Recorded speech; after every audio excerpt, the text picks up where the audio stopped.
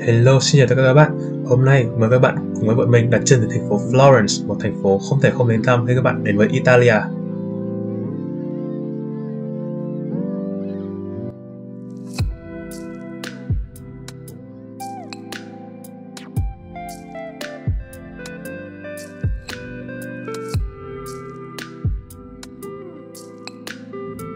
Và sau khoảng hơn 7 tiếng ngồi xe buýt từ Turin đến Florence thì cuối cùng bọn mình cũng đã tới nơi.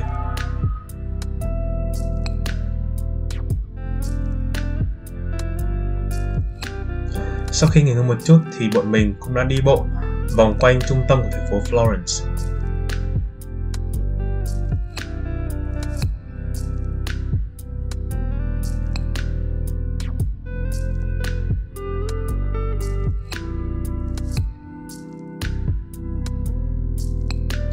Cho bữa trưa thì bọn mình dừng chân ở Pino's Sandwiches. Đây là một trong địa điểm bán bánh kẹp panino nổi tiếng nhất ở Florence.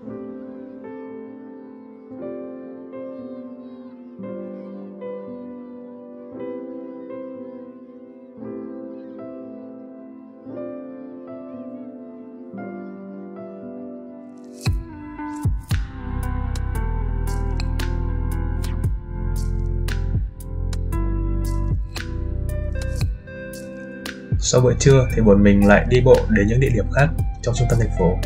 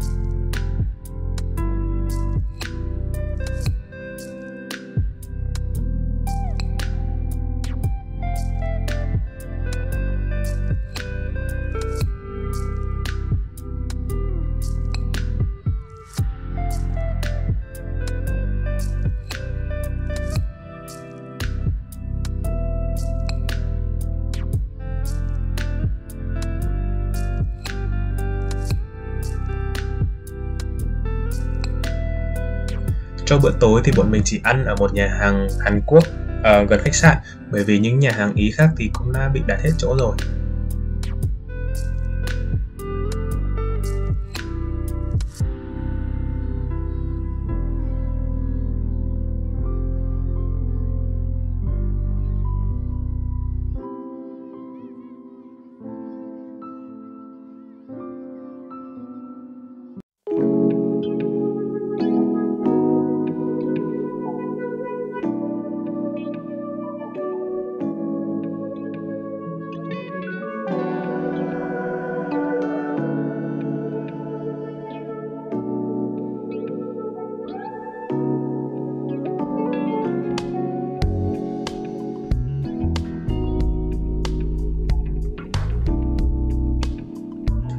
Sang đến ngày thứ hai, thì lịch trình hôm nay của bọn mình cũng đã được chuẩn bị sẵn và bọn mình sẽ bắt đầu ngay khi ăn xong bữa sáng ở khách sạn.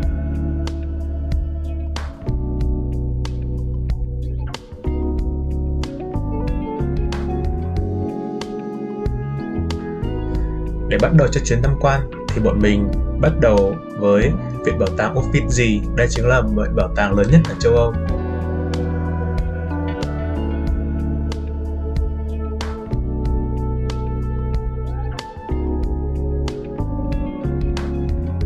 Viện Bảo tàng là nơi lưu trữ hàng ngàn tác phẩm nghệ thuật và điêu khắc của những họa sĩ và nghệ sĩ nổi tiếng nhất từ thời kỳ đầu tiên của lịch sử và nghệ thuật. Tiêu biểu nhất có thể kể đến như là Michelangelo, Da Vinci hay là Hugo van der Goes.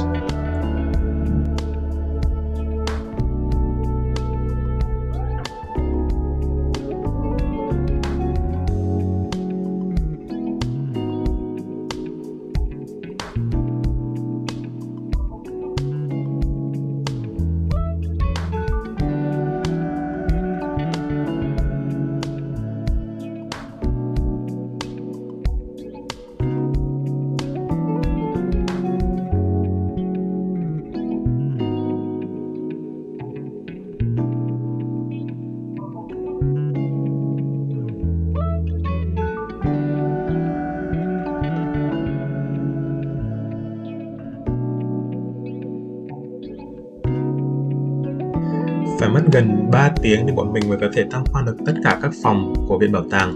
Sau đó bọn mình đi ngang qua nhà của Dante, đây là một nhà thơ rất là nổi tiếng người Italia.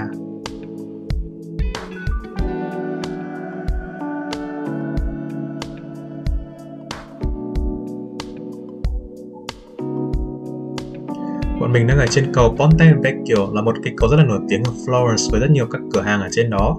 Và đây cũng là một nơi tuyệt vời để ngắm cảnh cũng như là chụp hình check-in.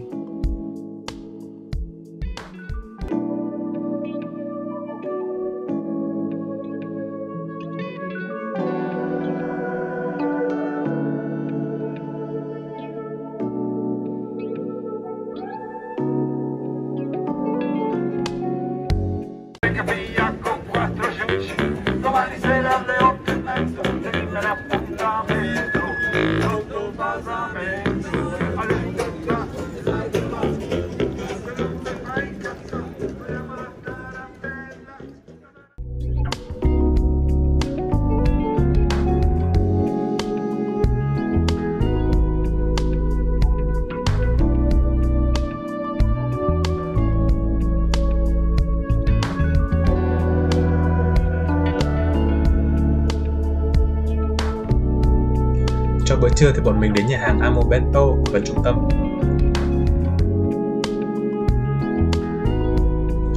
Đến buổi chiều thì bọn mình đi tham quan dinh thự Pitti. Đây từng là nơi ở của những gia đình quý tộc trong xã hội cũ ở Florence.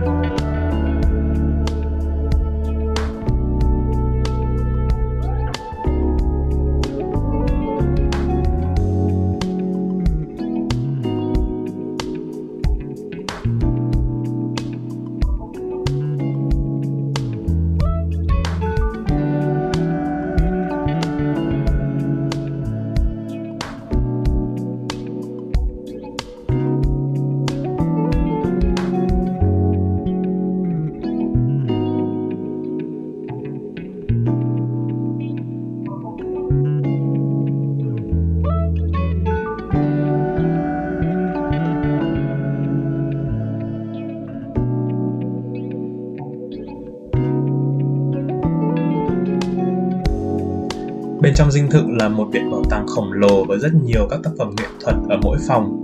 Bên cạnh đó thì trần nhà ở mỗi phòng là một bức tranh vẽ tay khác nhau.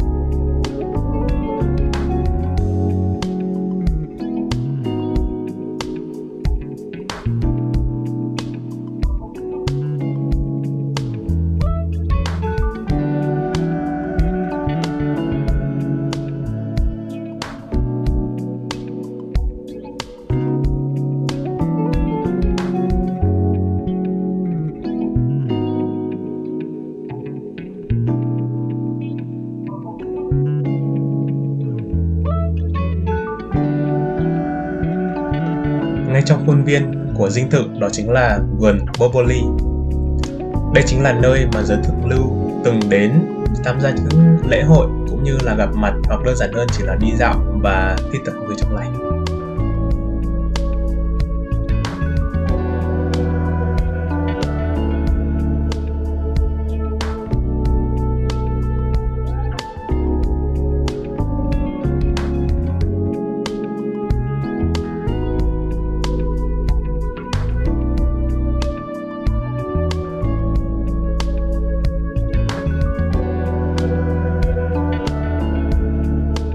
Trong bữa tối thì cuối cùng bọn mình cũng đã book được một nhà hàng có tên là Casa Toscana. Đây là nơi sẽ phục vụ những món ăn truyền thống của Florence.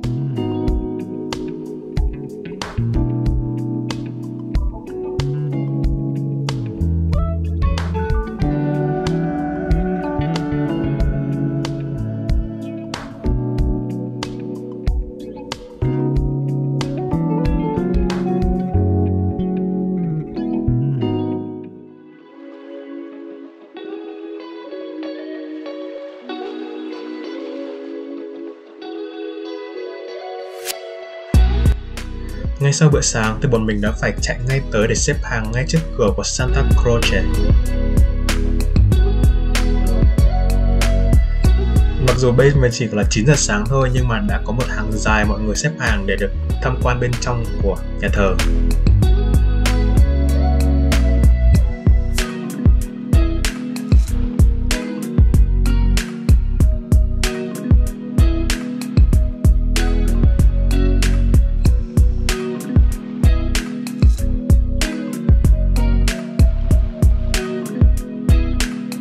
Nhà thờ mở cửa vào lúc 10 giờ 45 phút, nên sau khoảng gần 2 tiếng chờ đợi thì cuối cùng bọn mình cũng đã được vào trong để tham quan.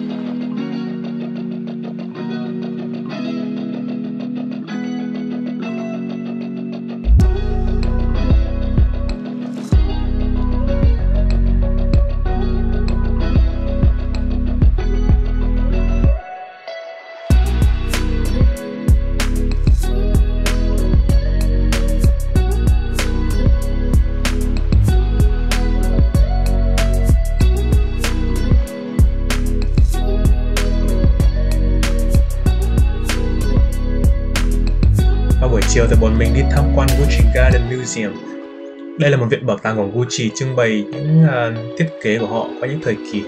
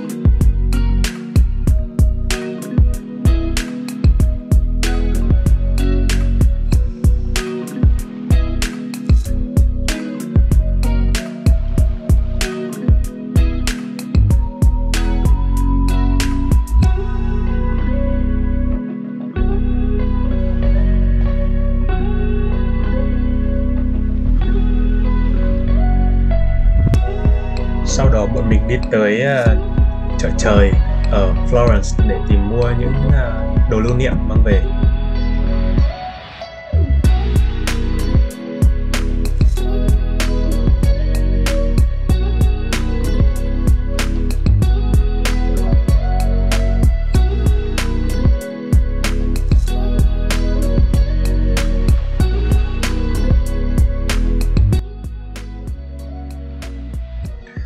Tối thì bọn mình đến một nhà hàng Hàn Quốc khá là nổi tiếng, có tên là Gangnam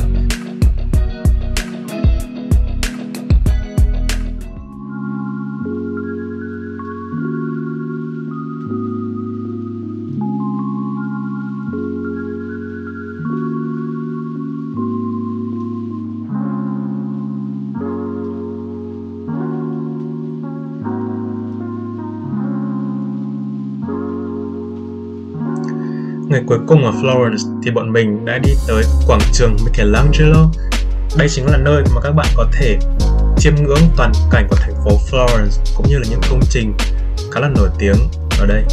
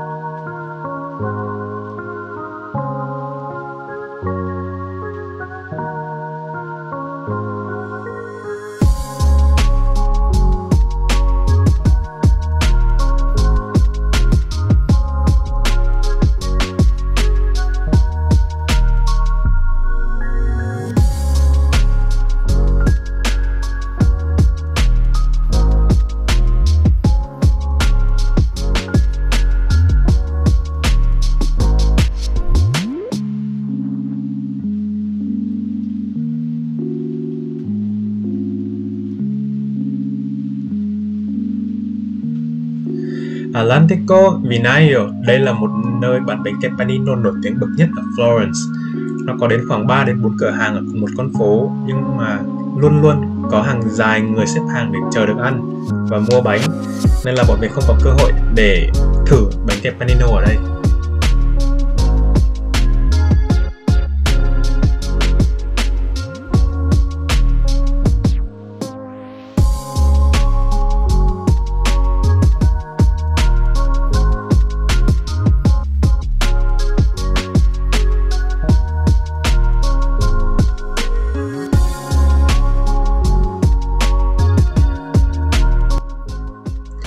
Và cuối cùng cho bữa trưa, bọn mình đã đến với Trattoria di Gabriello.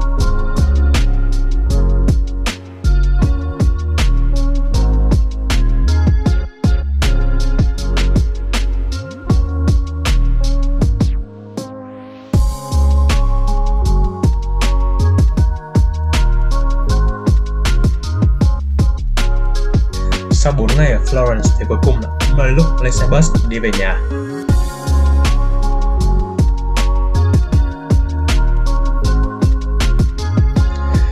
Các bạn vì đã xem video của bọn mình. Hãy like và subscribe để đón chờ những video tiếp theo nhé.